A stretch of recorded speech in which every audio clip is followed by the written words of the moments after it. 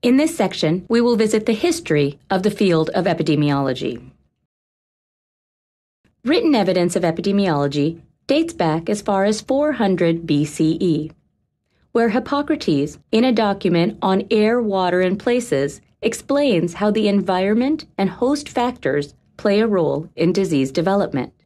In 1662, we saw John Graunt present patterns of mortality by factors such as sex, urbanicity, season, etc.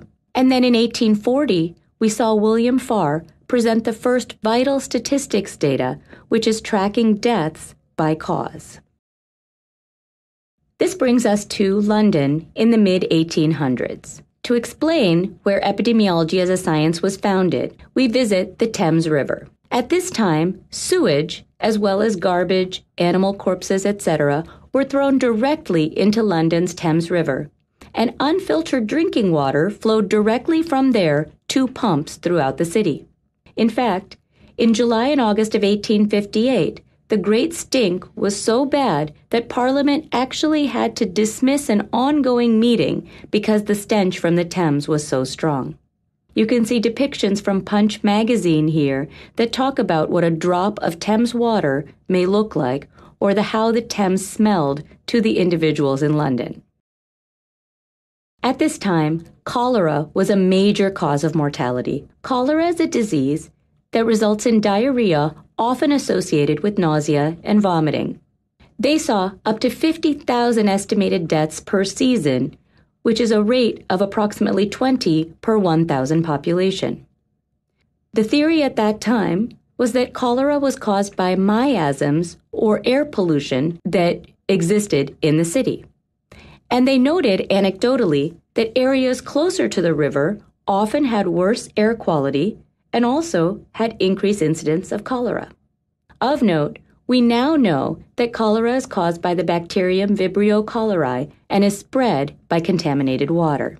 You can see in this photo here depictions of cholera beds often used in resource limited settings, where patients would have so much trouble getting up to use the bathroom in a timely manner that they actually laid on beds with a strategically cut hole to catch the waste. An individual by the name of Dr. John Snow carried out what we now refer to as boots on the ground epidemiology. In the summer of 1854, cholera was back with a vengeance, and Dr. Snow was convinced that it was actually an intestinal germ and not miasms that was responsible for the disease. So the fieldwork that he carried out was as follows. He personally visited every home in which a cholera death had occurred in the area surrounding his home and established their water source. You can see a depiction of the map that he had created, in which every red dot represents a house in which a cholera death had occurred, and the blue dots represent the pumps from which people drew their drinking water. Now, also in London at this time, the British Parliament had established that water suppliers must move their water sources outside of central London. This was not because of a recognition of the importance of clean drinking water, but instead because people had been complaining about the smell as well as residue in their water. There were two prominent water companies at the time the Lambeth Company, which complied with the act and began to draw water from upstream of the city, and the Southwark and Vauxhall Company, which continued to draw water from central London. Now, it was impossible to tell from a map which company supplied which neighborhood, such that adjacent areas could actually be supplied by different companies. You can see on the table on this slide the results of what John Snow learned based on houses that were supplied by the Southwark and Vauxhall Company versus those supplied by the Lambeth Company. Of the 40,000 houses that were supplied by the Southwark and Vauxhall Company, he noted over 1,200 cholera deaths, which resulted in a rate of 315 deaths per 10,000 houses. From the Lambeth Company, of the 26,000 houses, there were 98 deaths, or a rate of 37 per 10,000 households. You can see here the dramatic difference in what happened when the Lambeth Company began drawing water from upstream of the City of London. This work by Dr. John Snow really established what we now consider the basic science of epidemiology. Around the same time, we moved to the General Hospital of Vienna to see another example of epidemiology in action. The General Hospital of Vienna was a premier obstetric hospital that trained physicians from all over the world. There were two clinics within the obstetrics department. Clinic 1 had male obstetricians and medical students that performed deliveries. They also had an additional responsibility of performing autopsies on the women who died during labor. In contrast, Clinic 2 was staffed by midwives who also performed deliveries, but their responsibilities did not include the performance of autopsies. Clinic assignment from the patient perspective was merely based on day of admission. There was no differentiation by case severity or previous illness history. It was well known that mortality rates in Clinic 1 were substantially higher. In 1846, the Clinic 1 mortality was 11.4%, compared with Clinic 2 mortality of 2.7%. Now, did the general population notice this difference?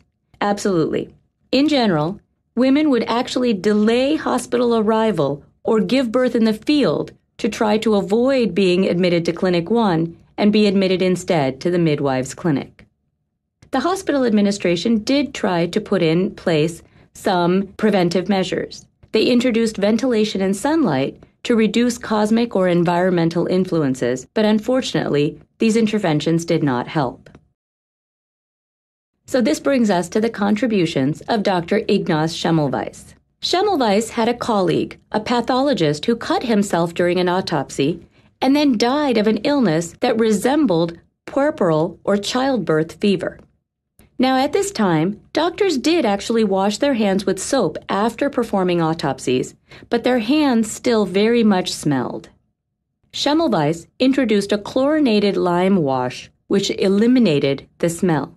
In 1847, Semmelweis forced his interns to wash their hands with this chlorinated wash after performing all autopsies. Did this make a difference? It appeared to.